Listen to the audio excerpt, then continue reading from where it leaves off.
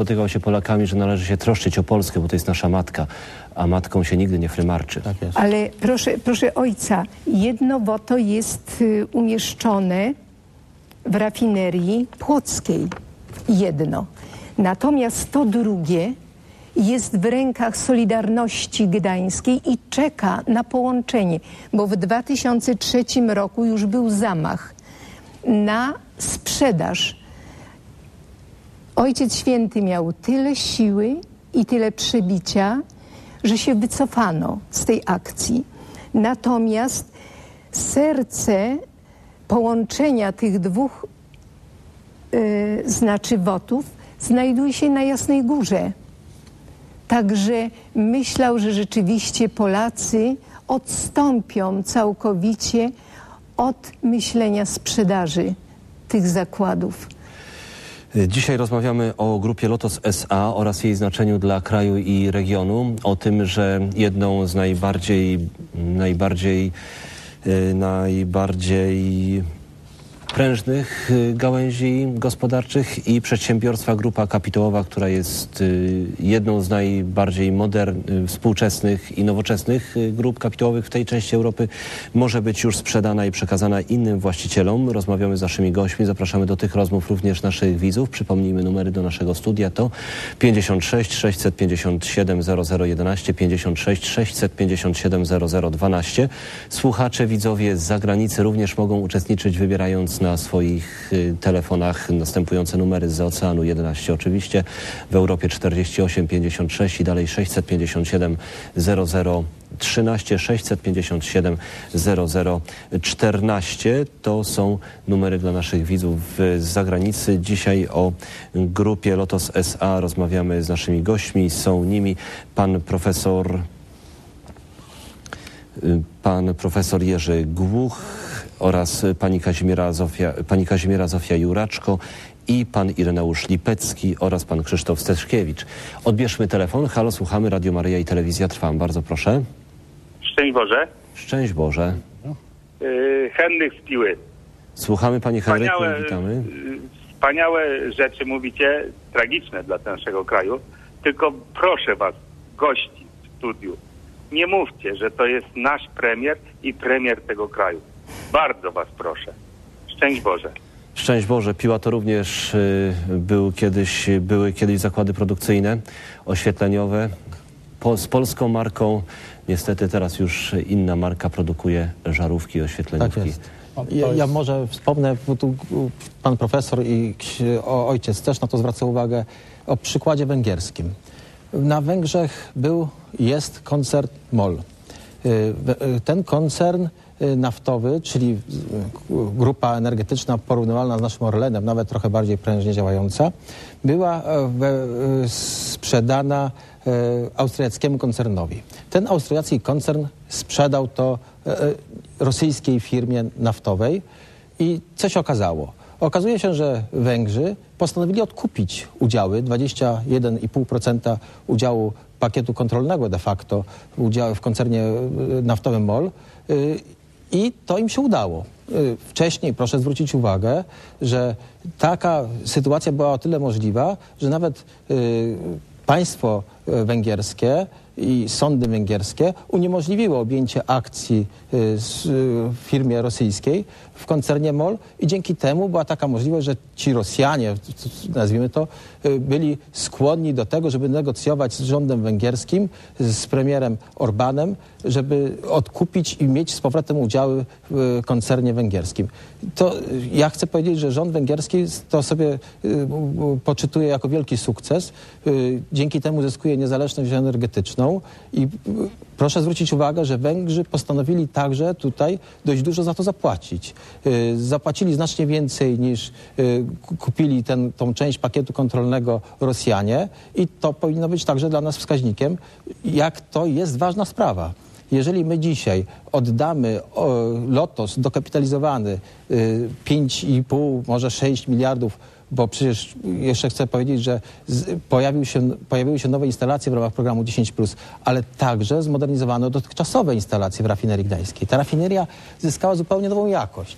I teraz my coś takiego sprzedajemy, no to za, za te 2 miliardy, może 2,5, to pytanie, czy to... y, załatwi sprawy budżetowe? Pewnie nie. Pewnie to rozejdzie się nie wiadomo na co, ale de facto stracimy. Stracimy dywidendę jako państwo. Jak wiemy, jeżeli ktoś to kupi, to na pewno nie będzie już płacił takich podatków, jak teraz płaci państwowa firma, bo, ponieważ no to tak jest normalnie. Właściciel będzie chciał zmaksymalizować, zmaksymalizować zysk. Wówczas będzie szukał takich sposobów, aby te podatki zminimalizować, prawda? No pojawią się jacyś eksperci, którzy będą doradzać, pojawią się jakieś inwestycje dodatkowe, po, pojawi się Rady dużo... do rad tak, nadzorczych Tak, tak oczywiście, tak jest. I okaże się, że te wpływy do budżetu państwa będą minimalne w stosunku do tego, co jest. A już pomijam sprawę, że także może zmniejszyć się na przykład zatrudnienie. To też jest ważna rzecz. I To, się tak często będzie- wiąże z tymi procesami tak zwanymi prywatyzacyjnymi. Panie Ireneuszu, dziękuję bardzo. Odbierzemy kolejny telefon. Halo, prosimy, telewizja trwam. Halo, halo, Halo? słuchamy, Halo? słuchamy. Czy, czy ja y, jestem na, na, na fonii? Halo? Proszę pana, czy proszę panią, dopóki Na pani nie foni? wyłączy, dopóki pani nie wyłączy głosu w swoim telewizorze, Ja jestem na fonii?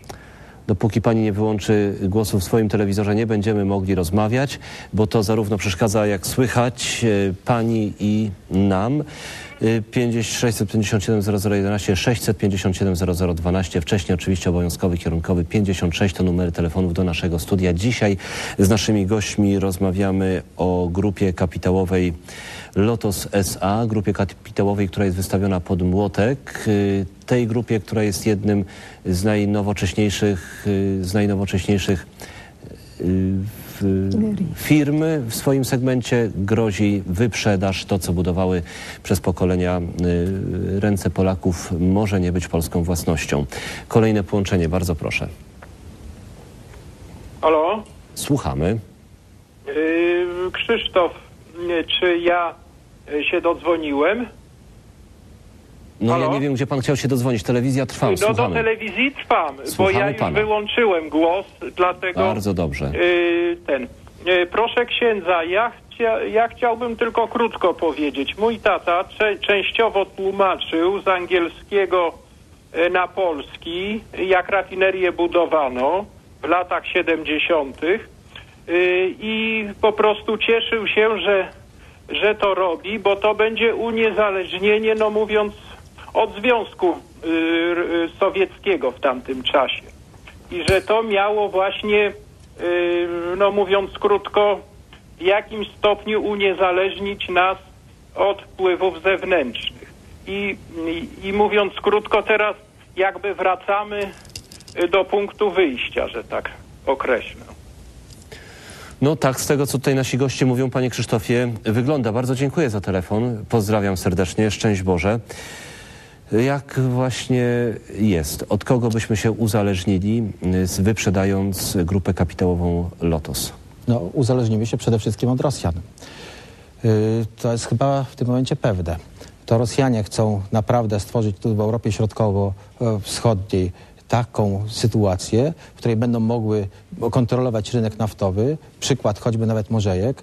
Morzejki, jak Państwo wiecie, były kupione przez grupę Orlen i okazuje się, że przypadek sprawił, że zepsuł się ropociąg Przyjaźń, który zaopatrywał Morzejki w paliwo i do tej pory jest zepsuty, a to trwa już, żebym nie skłamał, 5 dwa lat. Tak? I okazuje się, że nie ma innej możliwości. Trzeba niestety liczyć się z takim. y, dlaczego tak się dzieje? Dlatego, że y, Rosjanie, bo my y, patrzymy na tą sprawę z takiego punktu, niektórzy przynajmniej starają się patrzeć z punktu biznesowego, to pojawia się właściciel, więc ten właściciel ma na celu tylko i wyłącznie sprawy gospodarcze. Aby to przedsiębiorstwo faktycznie funkcjonowało jak najlepiej, aby przynosiło dochody, aby się rozwijało. Ale Rosjanie patrzą na to troszeczkę inaczej. Tutaj rządzą oligarchowie. To podporządkowane jest polityce de facto. I my ulegamy takim złudzeniom, rozumiejąc i myśląc po europejsku. Ale tamto myślenie jest, niestety jest pod, podszyte pod tekstem imperialistycznym de facto. I dlatego to jest właśnie niebezpieczne. Proszę zwrócić uwagę, że y, przykład właśnie tych morzejek na przykład jednoznacznie pokazuje, y, co się może stać. Na, nasz, y, rafineria gdańska i nasz system y, tutaj zaopatrywania rafinerii też korzysta z ruropociągu Przyjaźń. Ja tu mam taki rysunek i pokażę Państwu, jak to mniej więcej wygląda. Proszę bardzo. Widzimy zasilanie rafinerii i w Gdańsku, i w Płocku, a także niektórych rafinerii niemieckich odbyła się przez ropociąg Przyjaźń. Ten ropociąg, w momencie, gdyby się zepsuł na przykład, Albo spalił. albo spalił, tak jak to Jak czasami bywa, jak w Morzejkach, to okazuje się, że niestety nie mamy dostępu do surowca. Pozostaje nam oczywiście port północny, ale w momencie i, i naftoport, ale w momencie, kiedy z jakichś tam powodów, na razie powiedzmy sobie tak w cudzysłowie, jakichś tam powodów, będzie tam dostawa tutaj utrudniona, no to wówczas w zasadzie jesteśmy na kolanach. Musimy y, z helikopterami, samolotami nie, nie dostarczymy tego paliwa, nie dostarczymy tego w takiej ilości na potrzeby naszej gospodarki koleją i tak dalej. To jest właśnie to, y, ta sprawa, którą No, tu na istnieje to takie sformułowanie i takie pojęcie jak bezpieczeństwo energetyczne kraju. Polacy ufają osobom, których wybrali, że będą pilnowali i strzegli bezpieczeństwa energetycznego.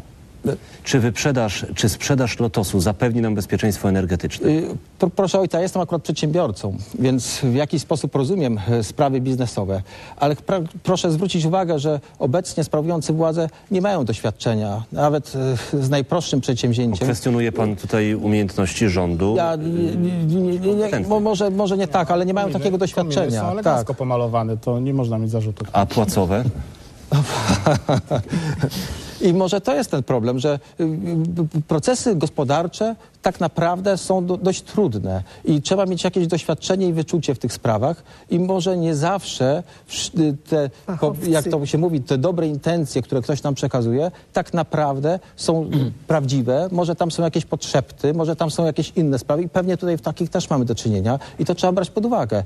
No przecież, proszę Państwa, to nie jest tak, że y, Rosjanie kupią y, rafinerię tylko dlatego, żeby y, no, ją mieć i mieć satysfakcję, że kupili. Na pewno też ważna jest to sprawa, że będą mieli przedsiębiorstwo dla nich, ale proszę zwrócić uwagę, że to jest dla nich także szansa, tak jak wczoraj rozmawiałem z panem profesorem na ten temat, y, zdobycia technologii. Rosjanie zawsze kopiowali, to profesor właśnie mi to tłumaczył, zawsze kopiowali różne tam rozwiązania, choćby nawet nasza pobieda wcześniejsza z lat No 50. była skopiowana. profesorze, tak? jest, To dajmy głos profesorowi tak, teraz. Tak jest, tak. To znaczy oni y, zawsze to robili i y, jeżeli wrócimy y, do sprawy lotnictwa na chwilę i popatrzymy sobie na samoloty, które produkowali Rosjanie, one jak w jakiś dziwny sposób zawsze przypominały te samoloty zachodnie, ale nie miały nigdy takich osiągów, ponieważ niestety nie wszystko można skopiować. Jeśli chodzi o rafinerię, kupując rafinerię, oni dostaną nie tylko technologię taką, o której coś wiedzą. E, W sejfach na pewno są plany, jak to robić. Można uzupełniać przy tej okazji inne e, zakłady przemysłowe. Państwo chcecie mi wytłumaczyć naszym widzom, że sprzedaż rafinerii to nie jest tylko sprzedaż rur, instalacji i tak dalej, ale to jest sprzedaż Technologii. ludzi, technologii, Tak. pomysłu, pewnych innowacji, Tak. Które ktoś może przejąć, wykorzystać cały nasz potencjał ludzki. A potencjał ludzki, podobnie jak złoża, y, złoża, złoża naturalne, są jednym z elementów bogactw naturalnych danego kraju. Oczywiście. Oczywiście. A ja jeszcze uzupełnię Handel o... żywym towarem? Ja może zanim tak wejdę w słowo i chcę Państwu powiedzieć, że y, to, my się tutaj zastanawiamy i mamy wątpliwości, ale komisarz Unii Europejskiej Ginter Verheugen też się zastanawia, się zastanawia, proszę Państwa, y, to tłumaczył naszym właśnie tutaj ministrom. To, to nie jest najlepsze rozwiązanie, ponieważ my w jakiś sposób powinniśmy być, jeżeli już jesteśmy w Europie, solidarni z Europą. Jeżeli teraz w tej Eu- Europie pojawią się przyczółki tak naprawdę na przykład rosyjskie i to, o czym mówiliśmy, na przykład ten transfer technologii, to nie jest to najszczęśliwsze rozwiązanie. Nad tym też musimy się Ale zastanowić. jeszcze przerwaliśmy. Tak. y, proszę pana, panu Tak, profesorowi. A ja tylko jedno zdanie jeszcze mam i chciałbym się zwrócić do wszystkich słuchaczy, żeby się zastanowili, jaki techniczny produkt rosyjski w ostatnich latach kupili. Bardzo Właśnie. dziękuję. Za chwileczkę powiemy o Państwa tutaj... y, Jeszcze jeden aspekt Tak, ale momencik, y, moment, moment, panie Krzysztofie, bo jest telefon i jest słuchacz. Za chwileczkę powiemy o Waszych również i pewnych przedsięwzięciach ustawodawczych i projektach. aspekt. Odbierzemy teraz telefon, dobrze?